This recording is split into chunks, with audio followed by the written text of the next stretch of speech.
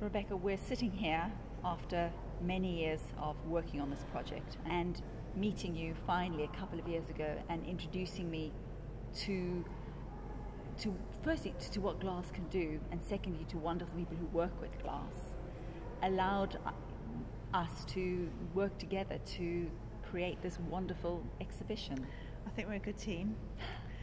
I've got a lot of experience in glass and I've got to know a lot of glassmakers during my life. So you kind of fall in love with glass. I have.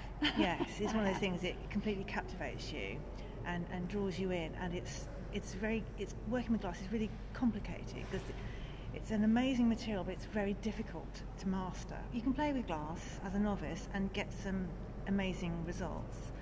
But then to take it further, you really have to know what you're doing, and that takes years and years. The um, title of the exhibition is Reflection, and was to um, invite these artists into this building and to ask them to, to engage with the building and to create these wonderful installations that fit in so seamlessly. But having said that, there are some of them that, that, that, that confront people, that make us question yes. and make us wonder. We've got a good range.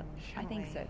I mean, what, what really um, fascinates me is that when I think about glass, because it is magical, it, there is a magic to it, especially to somebody like me who doesn't understand mm. the way you mm. understand it. To think that sand at extraordinary temperatures can create all these magnificent things that we see in front mm. of us and, and all the magnificent things in the cathedral. That kind of transformation is, yes. is what we're expecting to find in a place like this. As a glassmaker, you're both an artist and a scientist, really. I, I love that idea of, of experimental. We've managed to invite nine artists and they all work in glass in a completely different way. Mm.